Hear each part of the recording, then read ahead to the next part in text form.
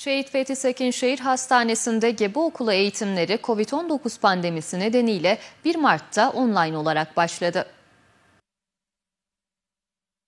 Pandemi tedbirleri sebebiyle Şehit Fethi Sekinşehir Hastanesi'nde haftanın 3 günü olarak planlanan eğitimler online olarak yapılıyor. Eğitim programları 3-4 hafta olarak planlandı. Bu kapsamda gebelik sürecinde olanlara gebe eğitmeni, diyetisyen, fizyoterapist, psikolog ve kadın hastalıkları doğum uzmanları tarafından bilgi veriliyor.